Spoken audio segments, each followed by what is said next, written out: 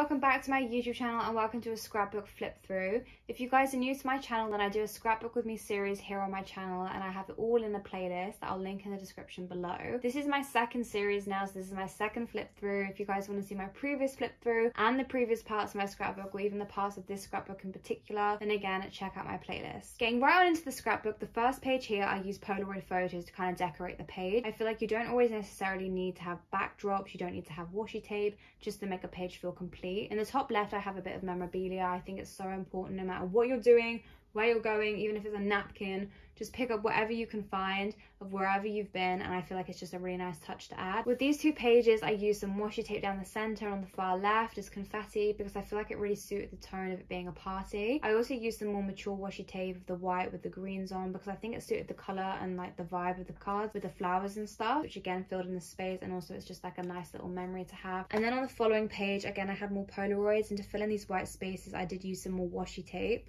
and then on this side, I actually used a backdrop to write on. I feel like if you write directly onto the white paper, it's not as interesting to look at as using a background. And I used this red because of the red that was in my top and also my friend's top and also just in the background and just adding like some washi tape because it was like nighttime, it was late night and also like the blue in here and here. It just makes it more interesting to look at.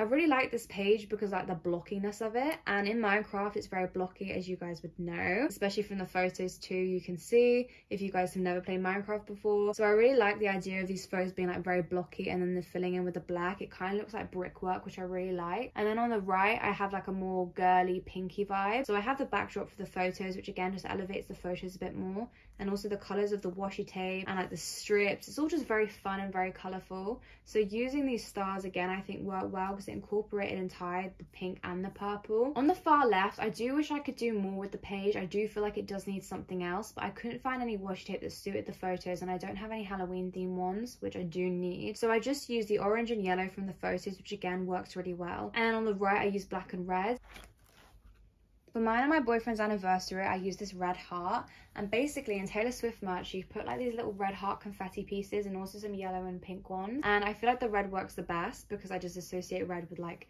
you know, love, Valentine's. So I think that worked best in this scenario. And I also made a mistake on the original heart I wrote the date on. So I basically just ripped it up and turned it into little confetti, which again filled the space, recycled the paper, and also it kind of looks like little red rose petals which again I think is a really nice like romantic touch. On this page it was my friend's birthday but we only got one photo from that night so I wanted to show that these were like different days so I just had a little pink caption to work with the colours in the photo. And I also kept like the little band that we wore to go to like the little farm. And I also had like I can't even remember where this is from but basically we had to like dig and like find a tooth and then you got a prize or something. So I just kept that as a memory which has made it a bit thicker and a bit chunkier because it obviously like comes out of the page but I do like that touch too. I like to have things that you actually wore on the day because photos can be printed off at any time but these things are in the moment like I wore this then and I think that's really cool to look back on especially in like 10 years time or something more. I actually found a Charles sticker book and I basically just used the farmyard animals to put in the spaces which again work well conveniently and the little butterflies and then in these little washi tapes there are tickets which again work with like the wristband in the previous page and then here as I mentioned earlier I used the pink and the yellow love heart that was in the Taylor Swift merch and I feel like that worked a lot better than using red. So on the right we're moving more into like the winter time and me and my friend have fake snow in our hair and stuff so I do think the snowflakes work the best. I don't even know how well you can see them which is a shame but these are white and grey snowflakes and this was in Taylor Swift's Christmas merch so again I reused that and it just shows like you know we're entering the Christmas holidays which is really nice. Then I used the snowflakes again to decorate the backgrounds of these two pages and I feel like I started to clock on that you couldn't see it that well so I used black as a backdrop or I do like the chaos of having snowflakes spread everywhere. So this does look a bit more structured, but again, I do really like the contrast of the black. Then entering 2020, who would have known? I didn't want to use blocks of sheets of paper because I didn't have that much to write, but I did want to caption each of these photos. So I did like a little tag coming out of each photo, which again, I do think filled the space and I do like it even though it's very, very simple. On the right, I actually really, really like this page. And again, it's really simple, but it was basically my boyfriend's 18th birthday meal out and it was also Valentine's like a few days afterwards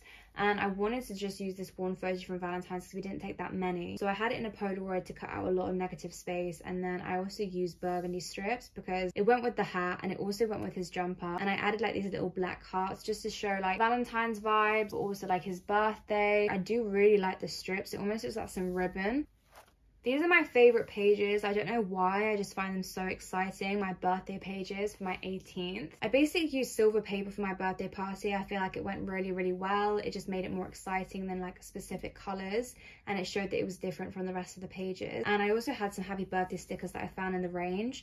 And I love this one because it's like a strip of happy birthday and it actually looks like happy birthday string that I have in the background for the photos. And I also cut out the 1-8 out of some silver paper and I was really proud of that because I actually got the 1-8 number balloons in silver too. So that's tied in really nicely as well. And also it's like a statement.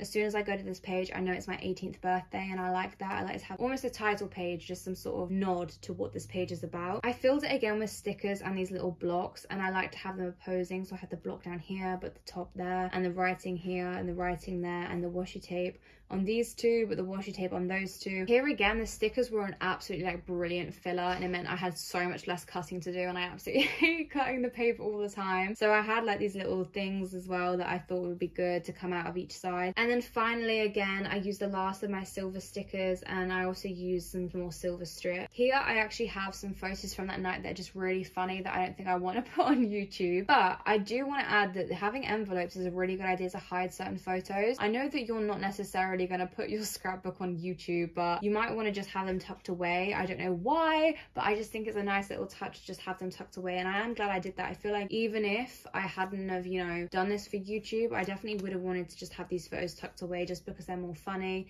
and they don't like suit the rest of the photos, if that makes sense. Entering my actual birthday, this was such a good day. Like it just makes my heart happy just seeing it. So first things first, I rotated between silver and gold paper depending on the colors and because this is all kind of like browny and like wooden vibes i feel like the gold did go a lot better than this which is a lot brighter obviously you've got the 1-8 there so i do like having the silver on this side. I also had white writing on my gold paper. Again i did like the contrast of the white with the gold. And it was also more discreet which i liked because i didn't want like the writing to look too intense. Here i've got gold again because the photos have like more of a brownie tone. And then these ones are a lot brighter. I also used different happy birthday stickers because they were like more bronzy which again worked really well. Then the final two pages of my birthday this was at the end of the day. And again the silver worked better and the gold worked better here.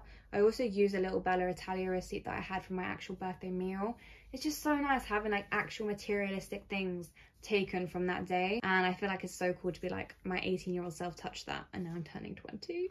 These days were very simple so I just kind of had the borders to fill in the space. I just like the colours of the purple on this side and the pink on that side just very girly and very cutesy. And then entering you know, almost lockdown, finding out about COVID. I feel like this photo on its own definitely needed to be a statement. And it was when all of the shelves were empty. My mum just sent me this photo. And little did we know it would trigger the end of school, school shutting down early. So I did like another little title page of last day of school. And I wanted to just make it more exciting, more bold because the day itself was like very rushed, very sad, very like dull.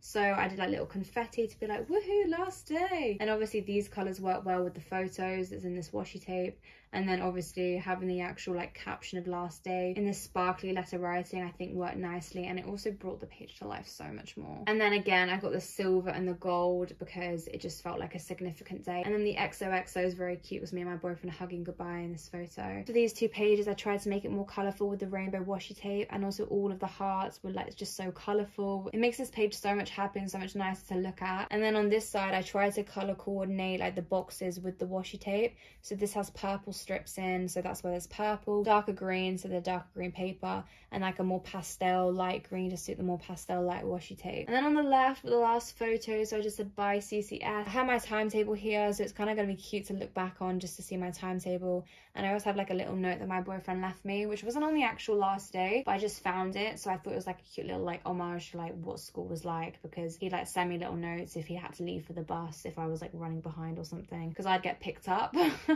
so he had to get to the bus on time. And then on this side, I really like this page too because I went in my boyfriend's car for the first time. The colours again, suiting the colours of the photos with the red car, got the blue roof and then the blue like starry night because we were driving around late at night and yeah, just all about color coordinating everything really. And then we're entering lockdown, so my first YouTube, you know, baking and stuff. I feel like it was better to just put like a collage together and put them in a Polaroid because not that much happened. And I didn't really want to have too many pages on it because you don't want like loads of six by fours of just food on one page. So I feel like it looks a lot neater and a lot more compact just having them all squashed into a Polaroid. And then on the right, I didn't really have a page dedicated to my first car. So during lockdown, I did lots of cleaning and I cleaned my car a lot. So I wanted to have a page for my car. Here I have a receipt of me filling up my car for the first time. And here I have a receipt of me putting my car through a car wash. So very exciting things. And then again, these two pages are during lockdown. So me and my friends would FaceTime a lot. And we also started our podcast. We also had like group FaceTime calls. I had like a by the end of quarantine list, which is really nice to look back on. It says here like I wanted to hit 50 subscribers by the end of quarantine, which is so cool now knowing that I'm like, I think I'm at 900 as I'm filming this. And then over here, me and my boyfriend had our first social distance picnic when we were allowed to. Here you have like the greens and the pinks working well. Me and my friends social distancing, my boyfriend coming to mine for the first time after lockdown. And then here I have my bedroom because I did like a before and after bedroom makeover during lockdown too. So this is the before and this is the after.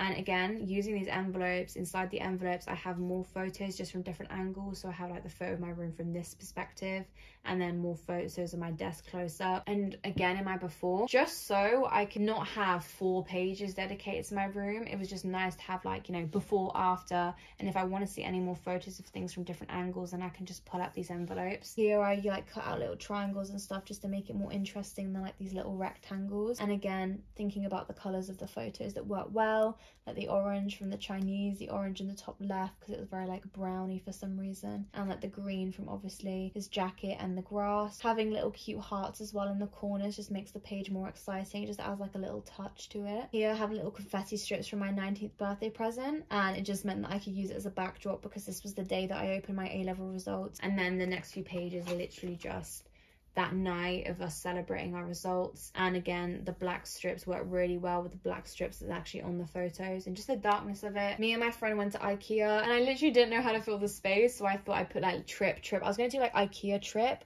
but I didn't have enough letters to spell Ikea, so I just did Trip Trip, which works just as well. And then on this side, I had photos of me and my boyfriend doing face masks and stuff. And because it basically took up the whole page, just to make it a bit more exciting, I did like these little love heart washi tapes just to circle around the page. And again, I used the Polaroid as well because I didn't need like a whole 6x4 of the snacks I left for him as a surprise on the bed. Here we're having our date night and the blue from my top and his trousers and stuff and like the pink in the top left photo. I really like the opposing blue with pink hearts and the pink with blue hearts. I think it all ties in together really nicely. And again, it's just so cute. Like, if you want to make the page cute, just add love hearts no matter what. This page just makes me very happy and it's very colourful. That continues on and then I have my friends going away party. So I left my boyfriend surprise leaving presents. So those are some photos and the Polaroid there. And I have like a little receipt from one of the presents that I got him. And again, it's just like something material isn't just something more interesting to look at other than just photos. And then the next few pages are basically just photos with borders that like color coordinate with the photos. And I basically did this in my previous scrapbooking part so I'll tag that up above. Basically just not to go into too much detail. The colors basically work with the colors within the photos. Like here for example my friend has green yellow and red all on her sleeve. So I have green yellow and red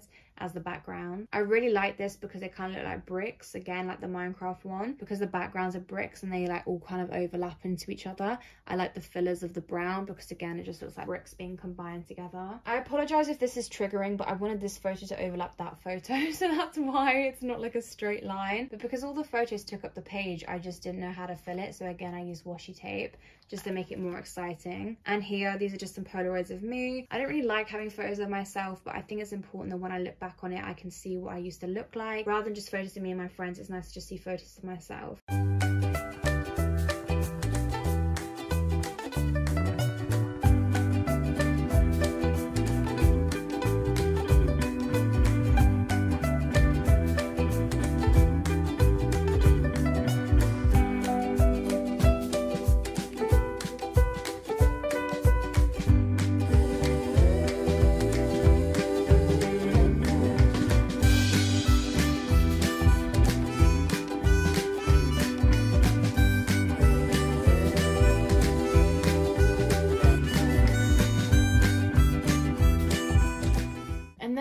Scrapbook ends with this photo of me and my boyfriend as I said goodbye to him as he went for university. And I really like this because it's just like you know, moving on to new things, you've got the autumn leaves, you've got the gold. I just find it is very like autumnal, like starting afresh, starting a new year, a new journey. And it ends on my boyfriend literally the day he leaves for university. So the next scrapbook's gonna start with him at university, my year off, moving on to me starting university as well, late 2021. So I'm so excited to start the scrapbook and just see how the pages go and do another flip through with you guys. So I hope you guys all enjoyed today's video and I'll see you all in my next one. Make sure you click the scrapbooking playlist in the description description below if you do want to see my scrapbooking parts. I will see you guys all in my next video. Goodbye!